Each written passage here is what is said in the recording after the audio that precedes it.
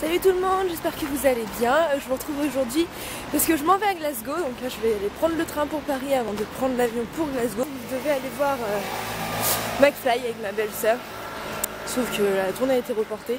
On part quand même à Glasgow pour se balader, donc ça va être assez court comme euh, séjour, mais je vous emmène avec moi. C'est parti